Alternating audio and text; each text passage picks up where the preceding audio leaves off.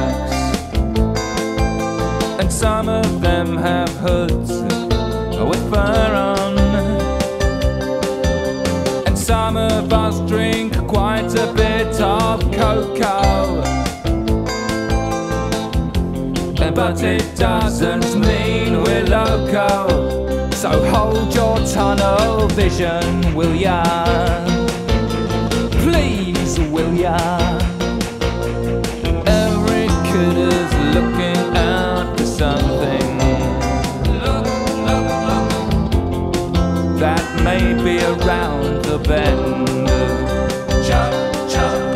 We just tend to do it with a duffel bag. But we're train spotters, we're not trendsetters. It's a passion,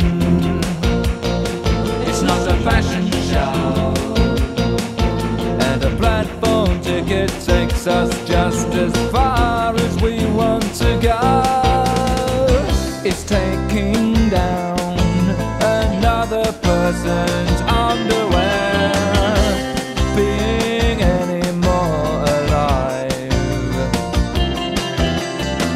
than taking down a one, two, five little details. Okay, so we may be wetter, but it is better than drying the wet that you get crying over a love that is dying. Platform tickets, we've got platform tickets, so and the platform ticket takes us to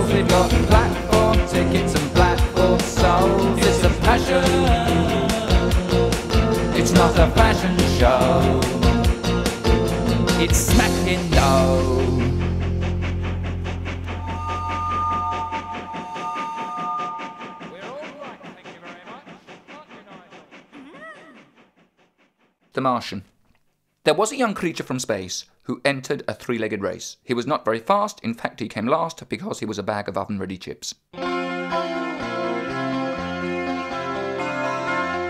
can call me softy, as ofty as they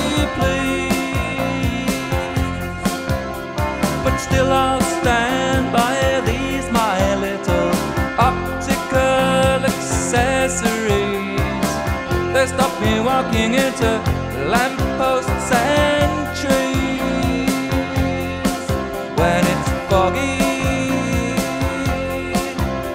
and I'm out walking with my doggy.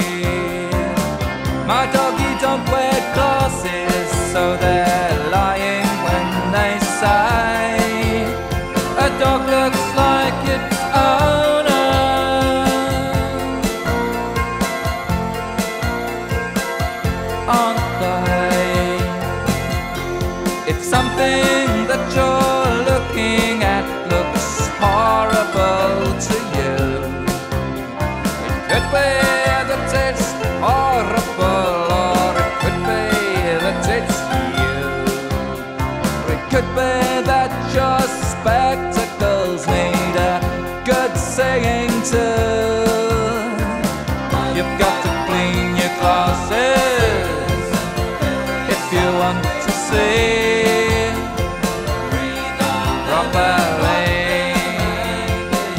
I've seen people with mud on their glasses. I've seen people with blood on their glasses.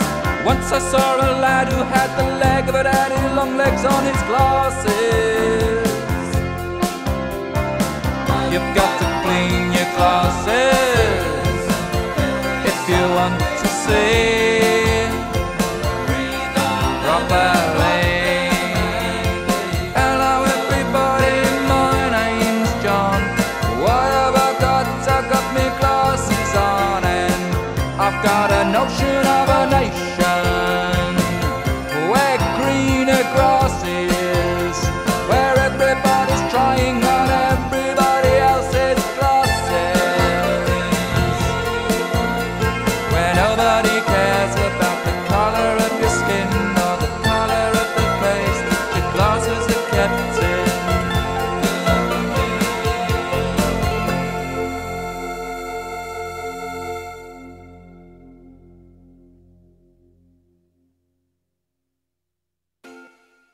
This poem is called Luton, and um, it's about the town of my upbringing, and it's also about the conflict between my working class origins and the middle class status conferred upon me by a university education.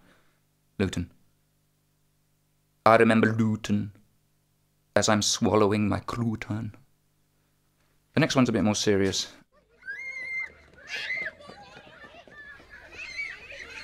In the playground, the children are playing a game of kiss chase. And one of the children, who seems to want to be chased after, calls out above the screams and laughter, Don't chase me! Don't chase me! And nobody does.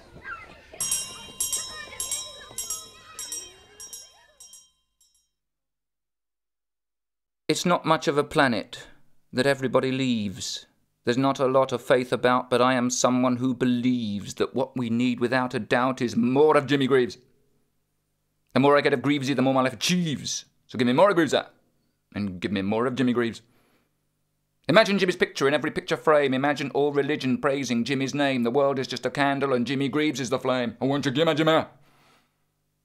It used to be his turn of speed, he left defences in a daze. Now he rents his turn of phrase. And when I turn on my TV and Jimmy's there, my spirits raise. And when I'm in a blazing row and I'm in the process of rolling up my sleeves, I just think of Greavsie! And he relieves me. More and more of Greavsie is what this country needs. He's the man to sow the seeds of sanity. He's off the booze, he's on the ball, he's got a message for us all. He can help humanity to heal itself, to haul itself from this self destructive stupor. He's what you call a trooper. I think he's blinking super. He's a trooper, super duper. So don't give me Henry Cooper, 'cause he isn't Jimmy Greaves. People say that I'm loopy, and they think I'm nothing but a Greavsie groupie. But I tell them, you're not fit to wash Jimmy Greaves's moustache.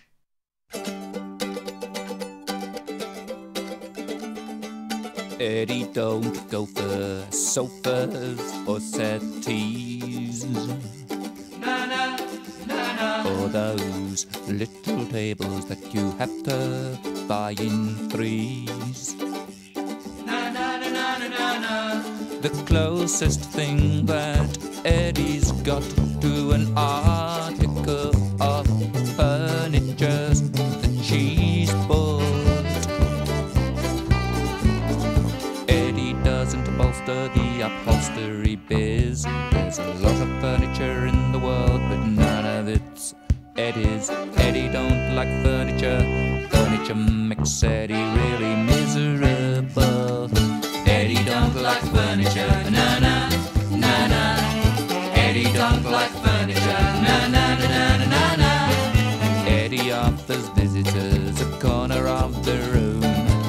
get used to the distances between you pretty soon. With everyone in corners, though it isn't very easy when you're trying to play pontoon.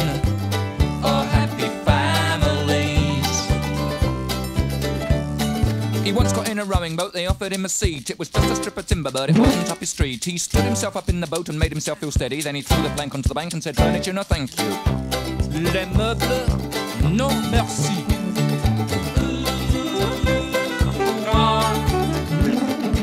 When it's on a bonfire, furniture's fine. Anytime that Eddie gets a number 29 bus, even if the seats on top and plenty down below, Eddie always goes where the pushchairs go. Does Eddie like furniture? I don't think so. Eddie don't like furniture.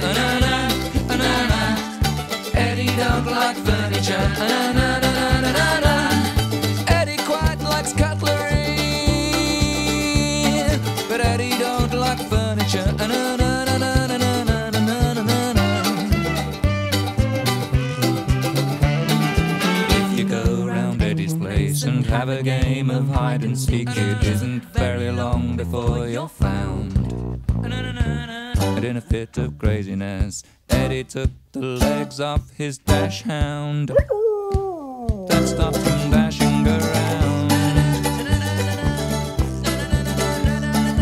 Eddie don't like furniture, uh, na-na, na-na. Uh, Eddie don't like furniture, uh, na-na. Eddie don't like furniture,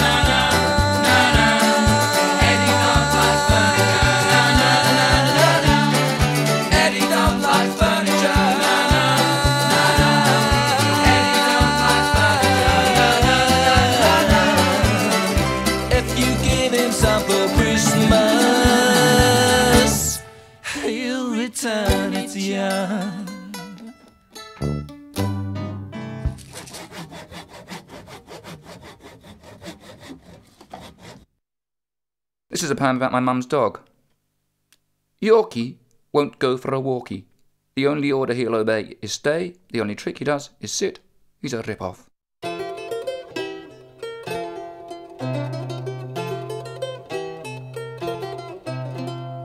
Mr. McNulty, the laundrette attendant, left his laundrette to get himself a packet of fags.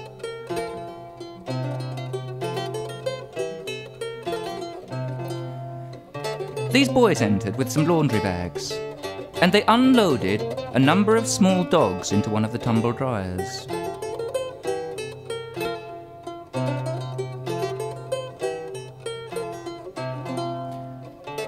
As they fumbled with the faulty coin mechanism, Mr. McNulty returned. Oh, no, you don't, he cried, pushing them aside and pulling out the dogs. These dryers are for washing machine customers only!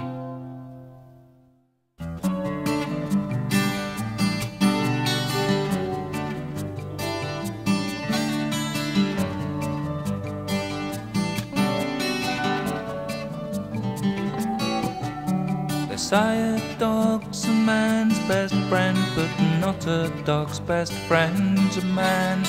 This is not surprising when you're only there to guard his fan. An inch of wound down window, it can drive you from your wits. It's a dog's life.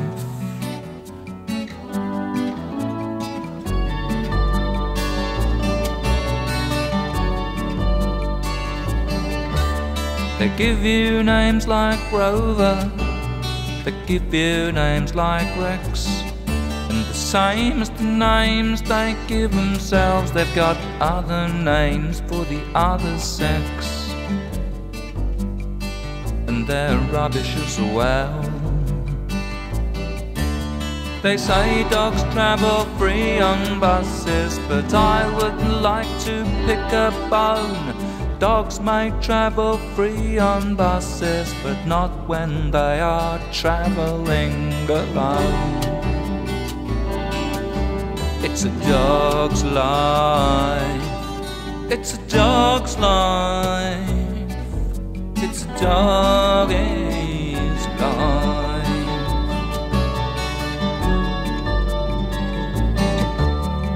Brother, can you tell me why so many dogs get to wear the blessed collar, but not the other holy dogs? It's one law for the people, and it's another for the beasts. Expose the canine's testicles, but cover up the priests.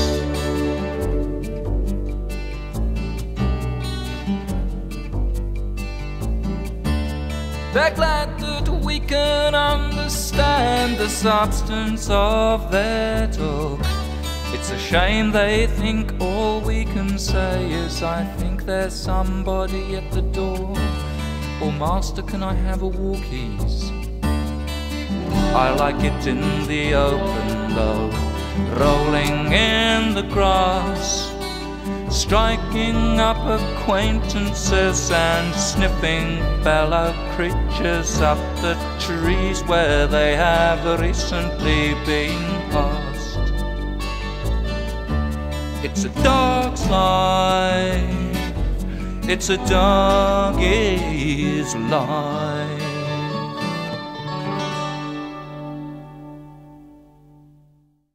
Well bred dog, this one's called. One evening, John came home from work, went into the kitchen to make himself a nice cup of tea, and on the kitchen table, in a plastic bag, he discovered a large sliced loaf with one of the crusts missing. Actually, it was a very large sliced loaf, about the size of a rabbit hutch, and John, who lived very much alone, knew that he hadn't put it there, and wondered who had. Just then there was a rap a tap a tap at the front door. It was John's new next door neighbour. Excuse me barging in, she said, but you haven't seen my dog, have you? What does it look like? inquired John concernedly. Like a large sliced loaf, replied the neighbour. With one of the crusts missing? asked John. Yes, replied the neighbour. She had a fight. John smiled, went out into the kitchen, and returned with the mysterious loaf. Is this her by any chance? he asked. And the neighbour said, No.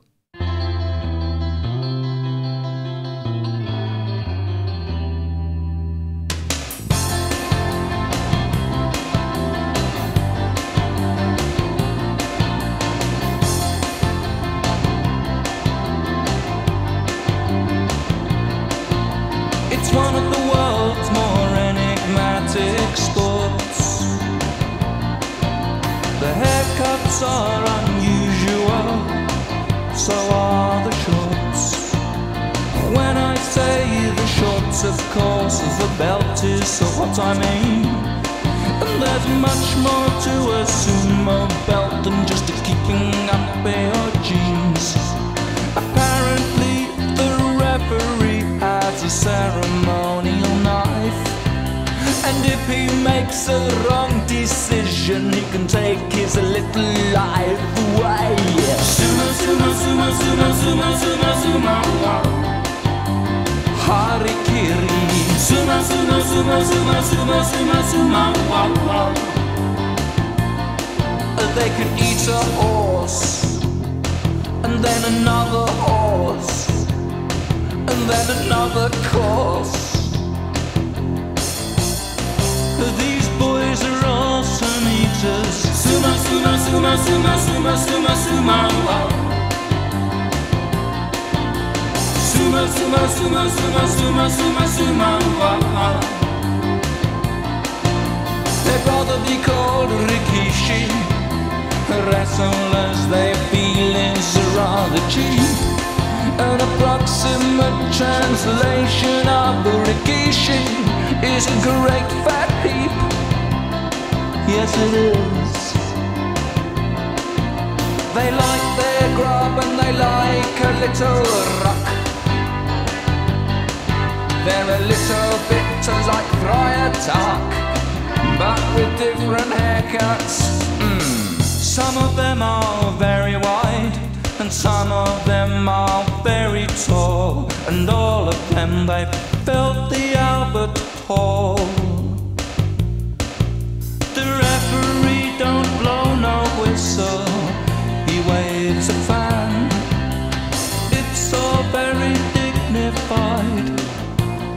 big in Japan. Sumo, sumo, sumo, sumo, sumo, sumo, sumo, wow. Shinto Saki. Sumo, sumo, sumo, sumo, sumo, sumo, sumo, wow, wow. Yorikiri. Sumo, sumo, sumo, sumo, sumo, sumo, sumo. Yotsuzuna. Sumo, sumo, sumo, sumo, sumo, sumo, sumo,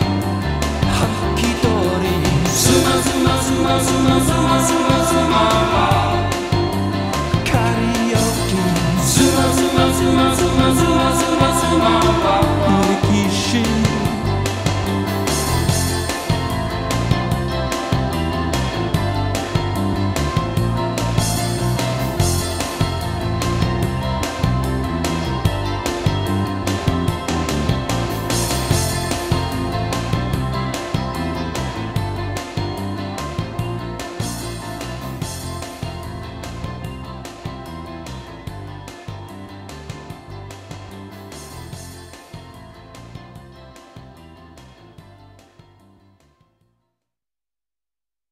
I said, Pat, you are fat, and you are cataclysmically desirable.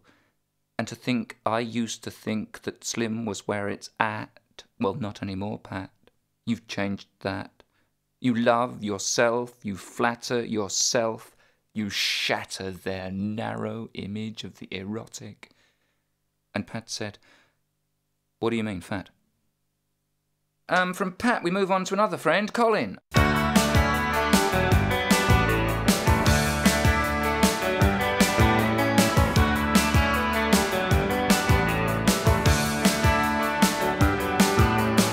Colin was a vandal, and when certain things were said, Colin flew off the handle, and he banged you in the head. He went down the hospital to get it all sorted out. Doctor said good morning.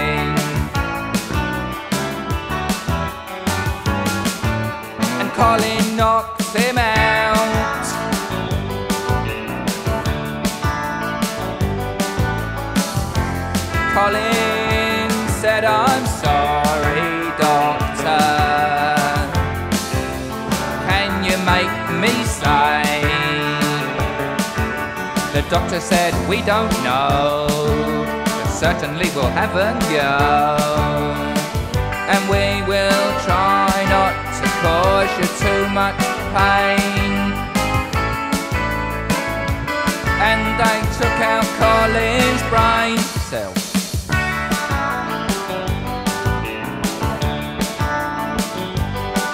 When Colin left the hospital, Colin miserable.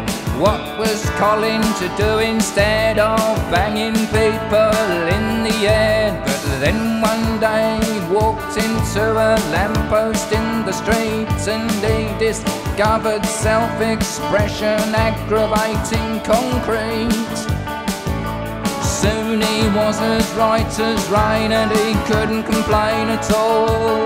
He got himself a little job as a demolition ball. When you bang your head on a rafter, it hurts at first but it doesn't after.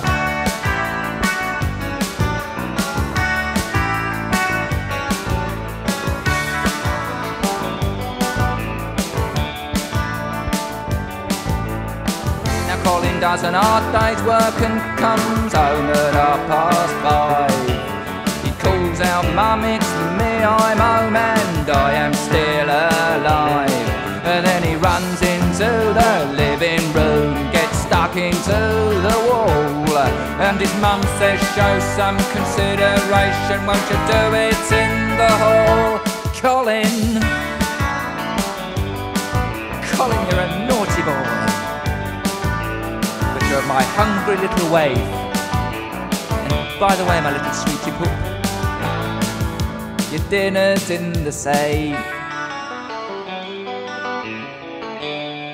Hmm. Colin!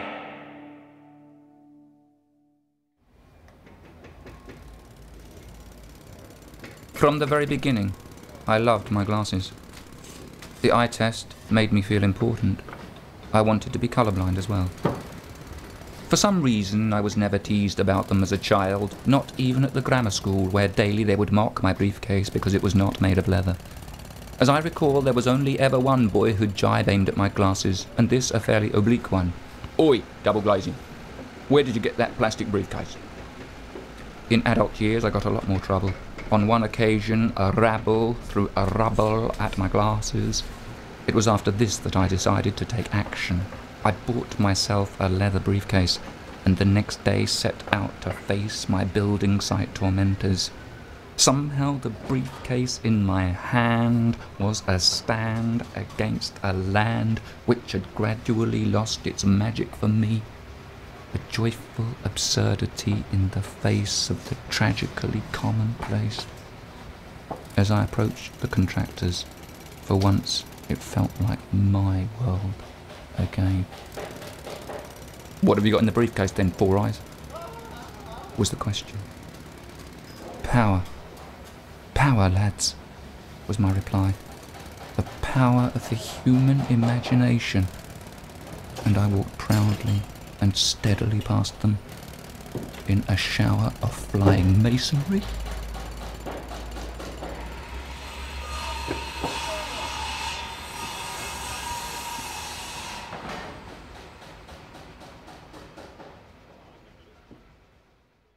This is a song about someone who betrayed their glasses.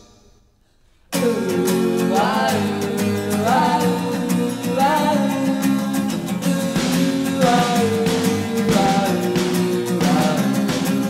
don't like contact lenses and he'd like to tell you why. First of all, to put one in, you have to poke yourself in the eye. And then they make you cry. Especially when they get around the back of your eyeball.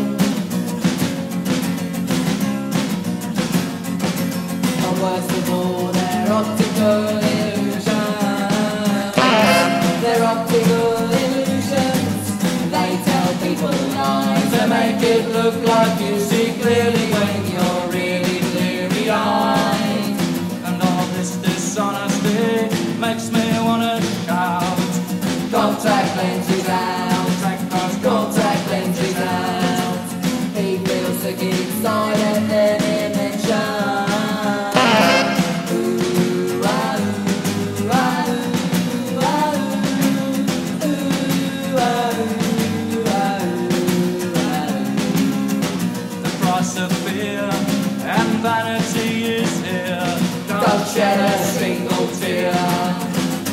contact lenses.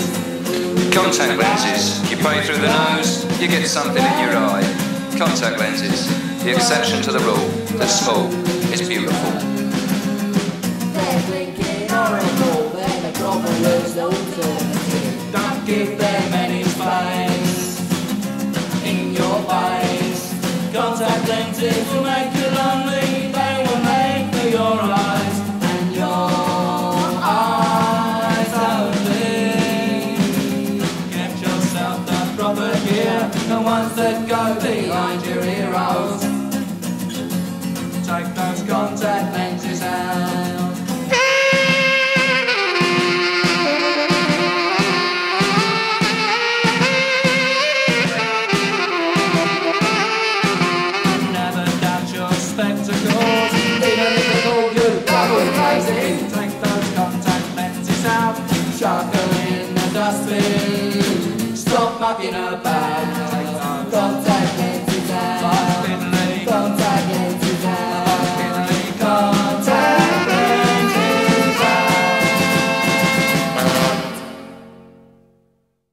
couple of poems about dogs for you. The second one's set to music, and the first one's set to words.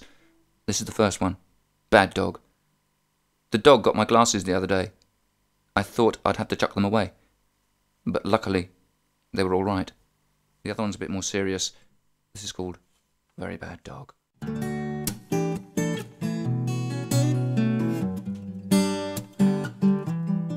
I took Rover over to the park the other day. I met another bloke with another dog on the way. His dog was an Alsatian. My dog was not. He said, Is that dog an Alsatian? I said, No. And he said, Why don't you get a proper dog? I said, Rover, ignore this copper.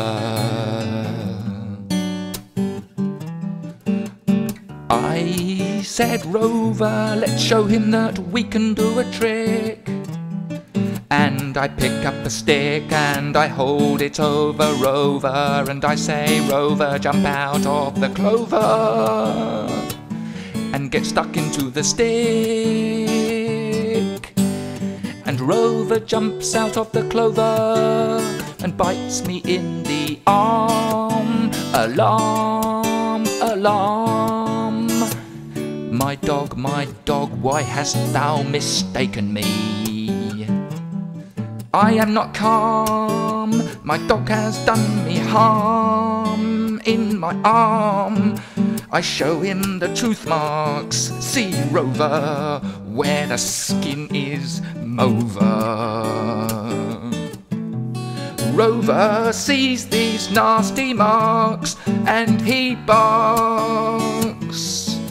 and he begs for forgiveness. And yet I know that I must break his legs. You naughty dog.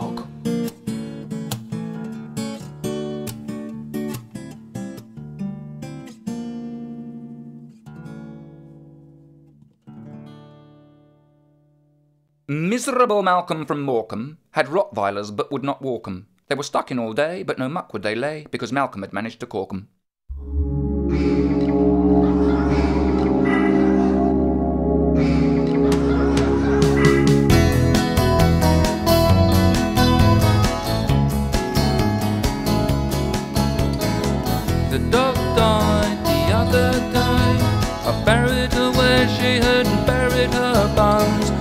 And on the level earth, I laid out her name in stones.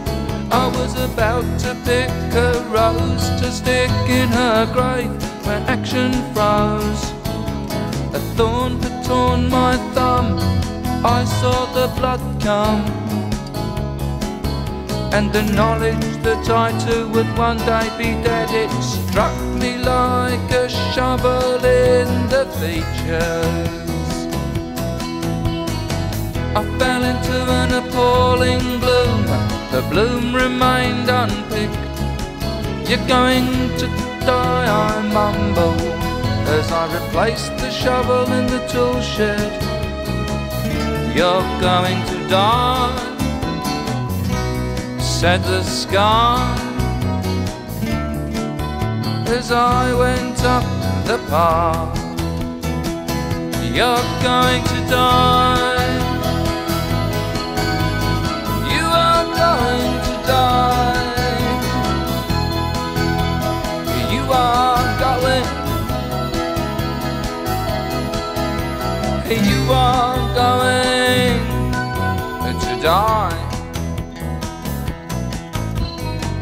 Back in the kitchen, I was massively oppressed by the prospect of the end. But as I looked at the bright yellow bowl from which my friend had fed, and the length of lead by which she and sometimes I had been led, from somewhere I somehow drew strengthening. You're going to die. So come on, live boy, live Johnny boy, I shouted. You're gonna die. And it's your reason for living. I slammed my foot into the dog food bowl and I sent it scudding through imaginary goalposts. You're going to die, I whooped. As I dragged an unopened box of little dog biscuits out of the cupboard and tore into it, oblivious to the coupon. And I tossed those dry, nutritious, fawn coloured fragments that my dog could never know into the air like so many pieces of confetti. You're going to die. I roared like the Yeti. You're gonna die. It was my war cry now. You're going to die. I trumpeted like an elephant, I did. You're gonna die. You're gonna die. You're gonna die. You're going to die. The doorbell rang, it was the bloke from upstairs. He said, I'll kill you if you don't shut up.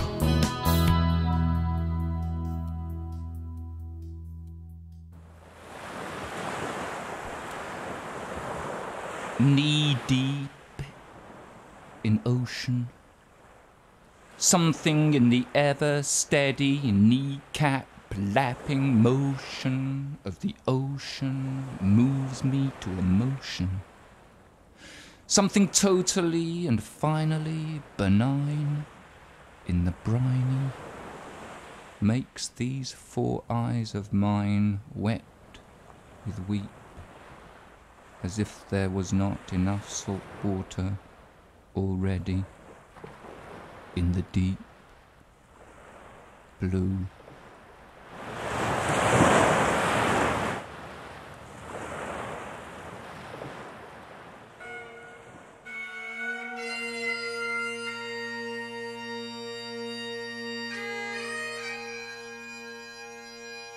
I'm afraid I won't be going to the Edinburgh Tattoo. Because to me, a parade of weaponry and the capacity to hurt is about as pleasing as dog dirt on the shoe. Only poo is easier than the tattoo to get rid of. To you, it may be taboo to poo poo the tattoo. But to me, the tattoo is something to say to tattoo.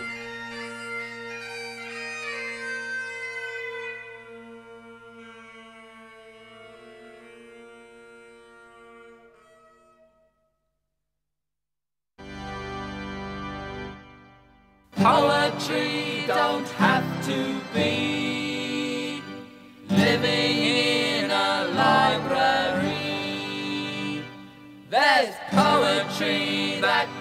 can see in the life of everybody. How I like to listen to the lingo.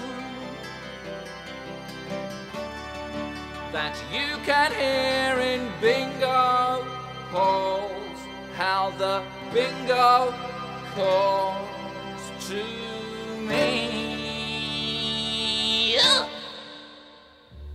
Poetry, language on a spree. Poetry. That's what I like to see. Poetry, poetry, gimme, gimme, gimme, gimme poetry.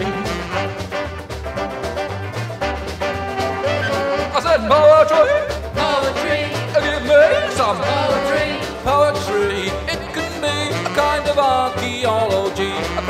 of unearthing things and piecing them together. And sometimes a piece won't fit because it's part of something else, and sometimes a piece won't fit because it's just a bit of old rubbish. Poetry. I want to be a piece of the poetry. Poetry's irreverent and poetry is rife. Poetry's a miracle held up to life. Poetry doesn't have to be something that just moves you and it makes you want to flee.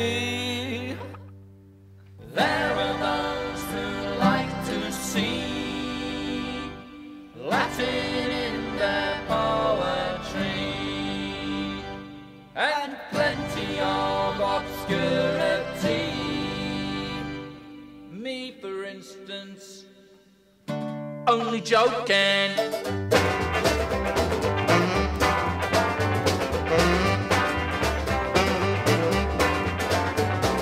Poetry is there to do the world some good. Poetry's the Christmas in the Christmas pudding.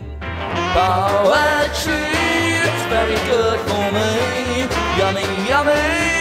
I'd like some for my tea. Poetry, a language on a spree. I want to be a leaf on the poetry. Poetry, that's the one for me. I want to be a little bit of foliage on the poetry. That's my goal. That's what I want to be.